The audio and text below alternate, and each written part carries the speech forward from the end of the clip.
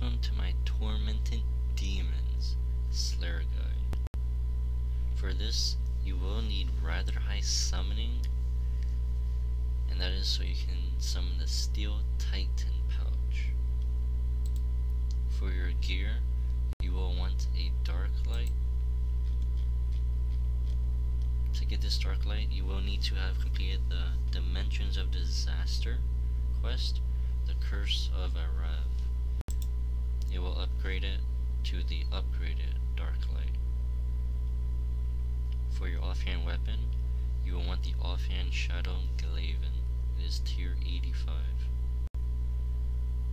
You will want the Warpriest of Zamorak helmet, plate body, and plate legs, Silverhawk boots, atrocious rogue gloves, or if you have completed Recipe for Disaster, once you're at Lumbridge Castle, go down the stairs, right click, and then buy items. You can buy the Barrows gloves, which costs a hundred K. The stats will be 999, as the Atrocious also give a life bonus. You can bring a book a pocket slot book. Now the most important items you will need is a demon horn necklace and a tuned ectoplasmator, a sapphire lantern, and a games necklace, along with your standard food, super restorers, and holy overload. If you are wanting to use these to put them in your personal dungeon, you will need to have a one-to-one ratio of the Ushhapatis empty. On your game's necklace, rub and go to option 7, Tears of Guthix. Make your way west.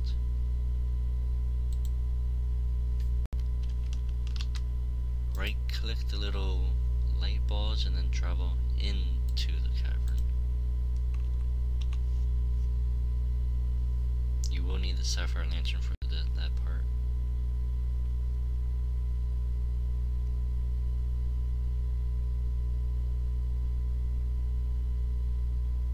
You will see a little cutscene of just the ball lowering.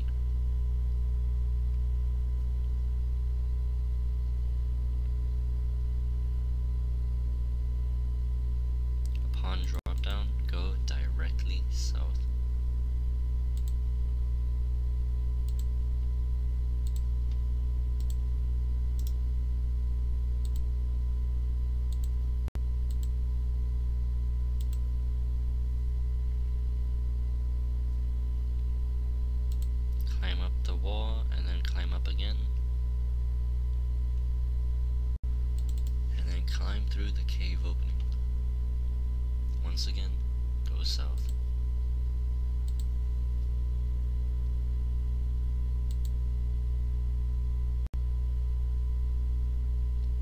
If you have access to the Max Guild, you are able to tune the boss portal to Tormented Demons. It will teleport you at this spot I am at. Keep going south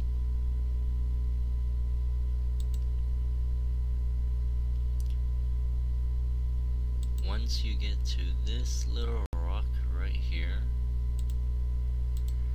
go to your combat settings by maximizing the action bar, right clicking the cog gear and go to legacy. As for your prayers, you will want soul split along with turmoil. Summon your steel titan and overload. Now just attack. You may need to wiggle a little bit for your Steel Titan to attack the NPCs. For most of the videos, I do not like to use auras because it is very time consuming to get specific ones. But ideally, you will want to get either the Penance or the Vampirism aura. If you notice your Steel Titan is not attacking, right click the call familiar and just call them.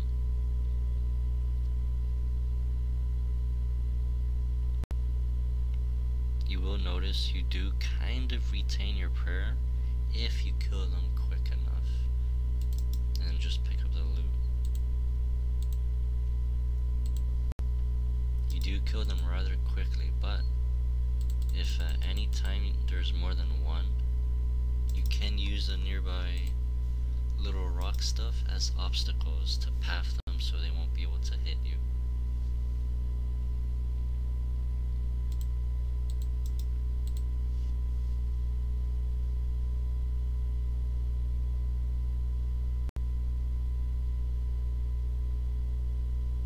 Now these tormented demons used to be extremely hard because after a set amount of damage you deal to them, they will switch and prayer accordingly to what you are dealing.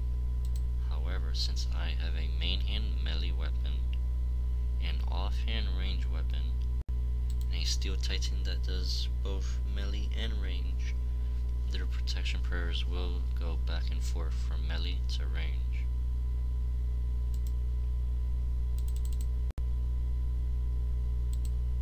As shown here, I have two tormented demons on me. If I hide over here, I'll be able to protect myself from one of the two. These are a wonderful source for blue charms. The crimson is also good, but mostly the blue charms give more experience.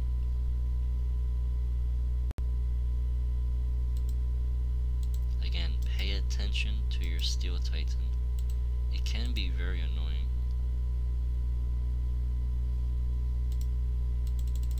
And here, as you see, I have another tormented demon. So just kind of path them correctly.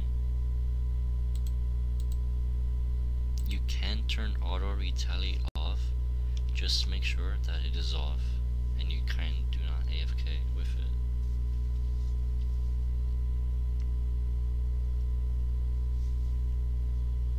For this little spot, I kind of dislike it, because as you see, my Steel Titan, he's just going back and forth, not doing anything. Preferably be an open area, but not too open for several to attack you.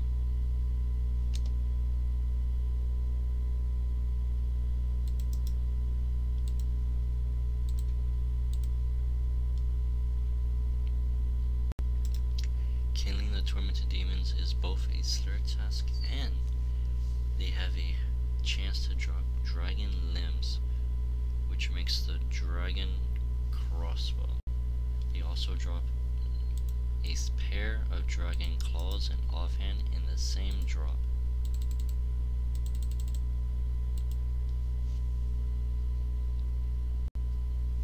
These do drop a fair amount of herbs, the grimy ones.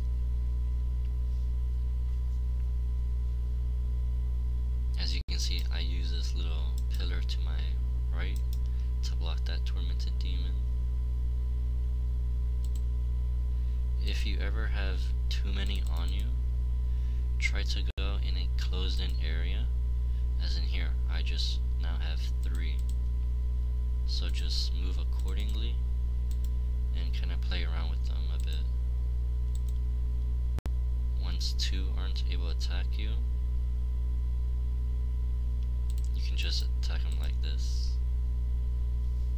Now, I still do have the one to the right, but it should be fine.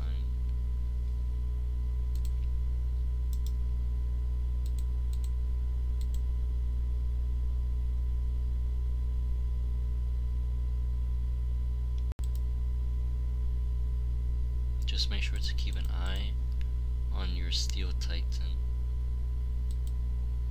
Here is another safe spot at this north pillar.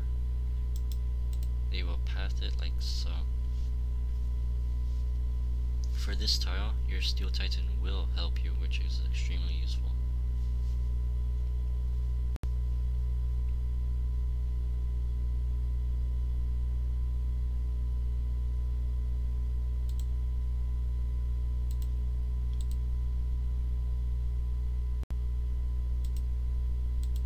You do use a fair bit amount of food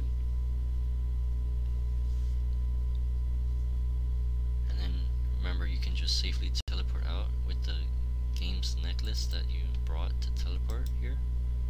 You can go to option 2, the Barbarian Outpost. Open the door. And then go to this little chest. This chest does heal you. So, again, you can just right click back and then go back to the Tears of Guthix once you restock your stuff and then just go down and start the next trip.